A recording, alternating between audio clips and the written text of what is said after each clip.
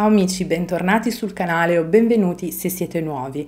La storia che vi racconterò oggi parla del caso di Jackie Hernandez, storia che forse è poco conosciuta ma che ho trovato molto interessante. La donna fu protagonista di infestazioni insoliti fenomeni, entità eteree o fantasmi che per diversi anni l'hanno perseguitata e la cui vita è diventata impossibile, impraticabile e diversa dalle altre. Infatti la vicenda viene definita insolita e diversa da tante altre proprio perché pare che questi strani episodi intrisi di quel che potremmo definire paranormale sembravano in un qualche modo connessi alla condizione psicofisica della vittima. Infatti le strane entità diventavano più forti, aggressive, proprio quando la donna attraversava un brutto periodo e la tormentavano maggiormente quando era più vulnerabile. Tuttavia questo non è l'unico caso, infatti in questi mesi molto spesso ho trattato casi dove il soggetto colpito da tali manifestazioni era di base un soggetto vulnerabile o comunque energeticamente debole.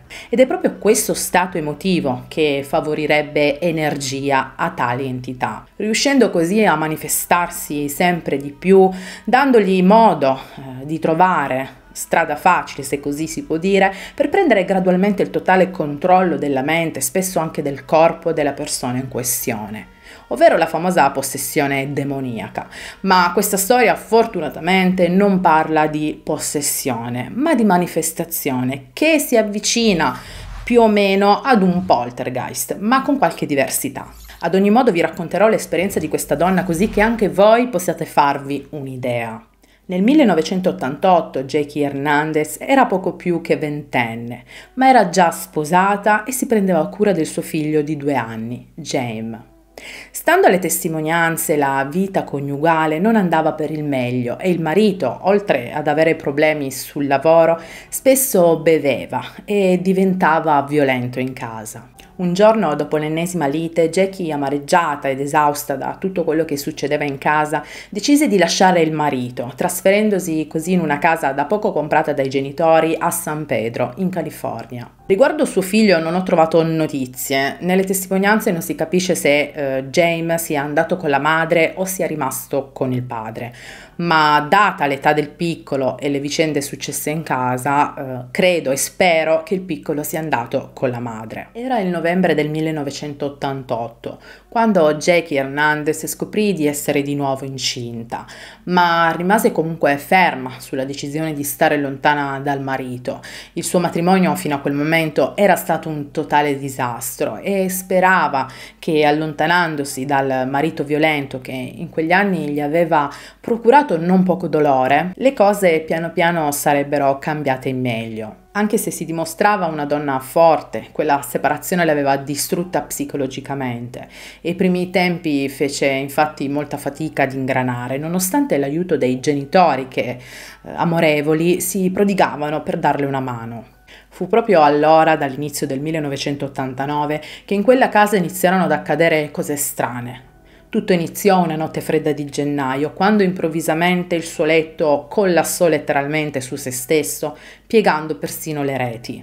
La prima cosa che pensò Jackie fu che fosse una rete difettosa o comunque vecchia, così il giorno dopo eh, la cambiò e ne prese un'altra dei genitori. Passarono appena due giorni che la seconda rete cedette ancora. Il padre la saldò e gliela rimise, ma dopo qualche notte nuovamente il letto crollò. La famiglia confusa non riusciva a capire il motivo, ma dopo diversi tentativi trovarono finalmente la soluzione al problema, acquistando una nuova struttura in ferro battuto, la cui rete era saldata in modo quasi indistruttibile. Passarono alcuni giorni e tutto sembrava andare bene. Iniziò ad arredare casa con tende nuove, lampadari.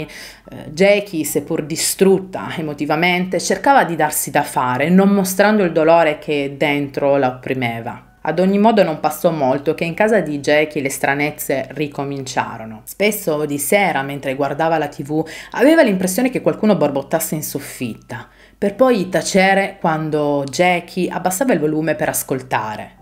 Il suo gatto iniziò a comportarsi in maniera strana, graffiando porte, tenendo agguati ad alcuni punti dei muri e rincorrere qualcuno che lei non vedeva, soffiando nel vuoto. Questi avvenimenti tuttavia non la lasciarono del tutto indifferente, infatti lei stessa dichiarò Non avevo mai vissuto sola prima d'ora. Era la mia prima esperienza, tutto mi spaventava, forse ero io.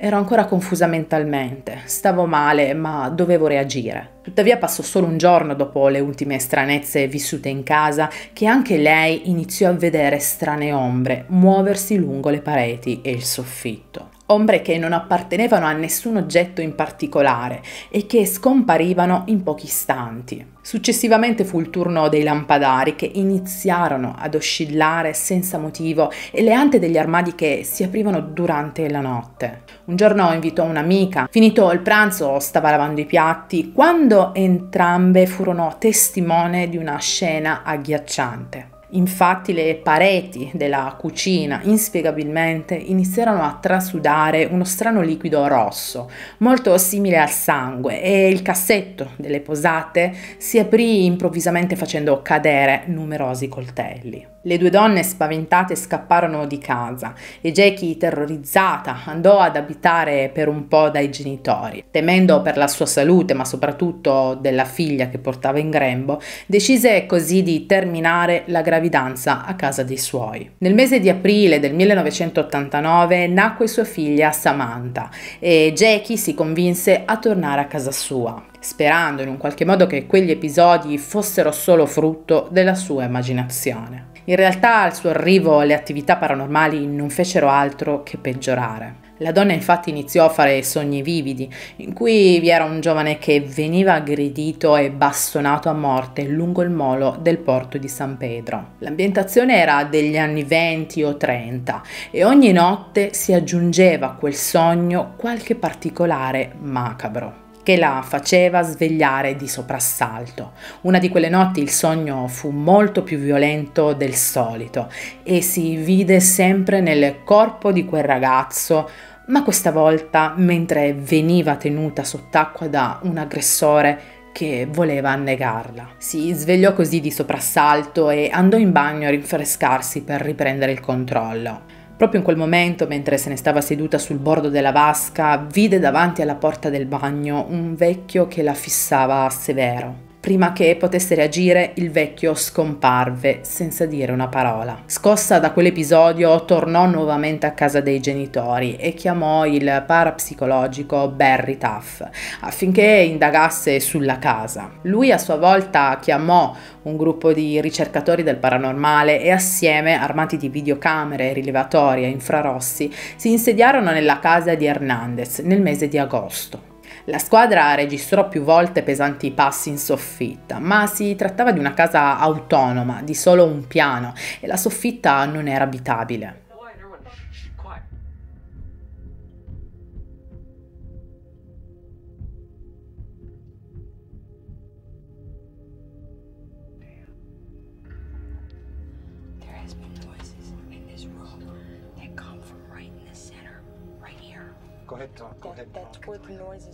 Una notte uno dei fotografi, dopo aver sentito nuovamente quel rumore pesante, andò in soffitta per scattare qualche foto ma una forza invisibile lo colpì al volto e scaraventò la sua macchina fotografica a terra.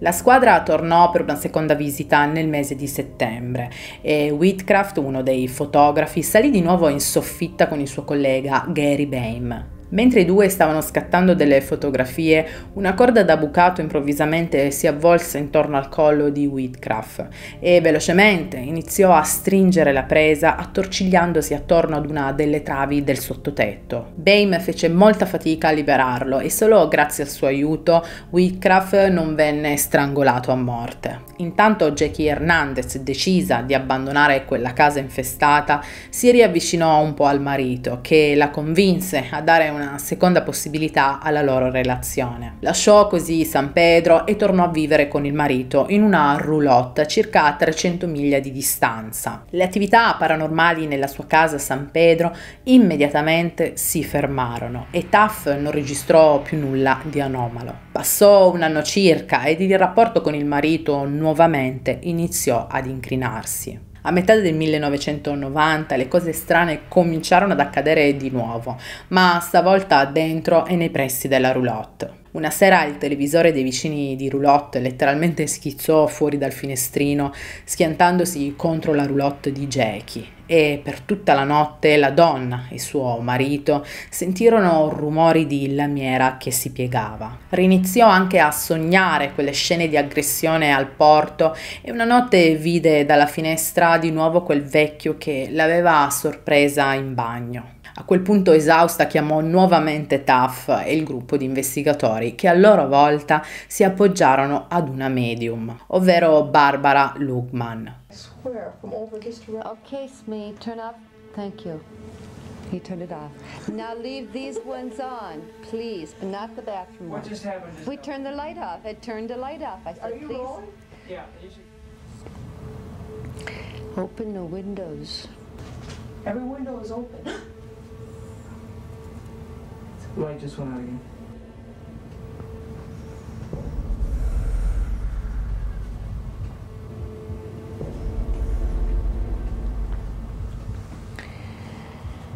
Stop for a minute.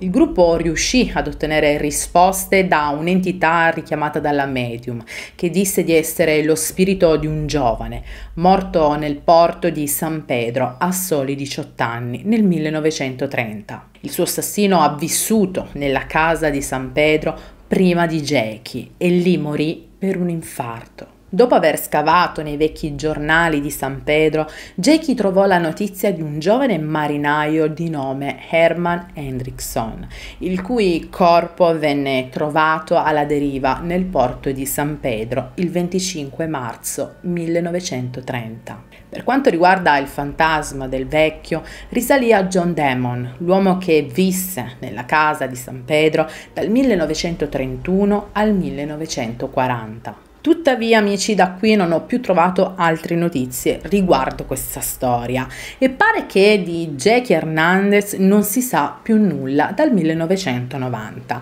anche se su alcuni social network si dice che assieme al marito siano andati ad abitare nella casa a San Pedro ed abbiano fatto celebrare numerose benedizioni che hanno diminuito di molto le attività paranormali nella casa. Che dire, amici, seppur breve ho trovato questo caso davvero molto interessante perché come abbiamo visto tocca diversi punti. All'inizio infatti sembra quasi trattarsi di un poltergeist, ma con il tempo si è trasformato in un qualcosa di ancora più potente, che approfittando dell'instabilità emotiva di Jackie ha preso sempre più forza, arrivando addirittura a materializzarsi. Mentre dall'altra parte c'era forse l'anima buona e persa di un ragazzo assassinato che non trovava pace. Ad ogni modo una storia assurda. Fatemi sapere voi cosa ne pensate, lasciate un like se il video vi è piaciuto. Noi come sempre ci vediamo al prossimo appuntamento, sempre qui sul mio canale, con tante altre storie misteriose. Ciao!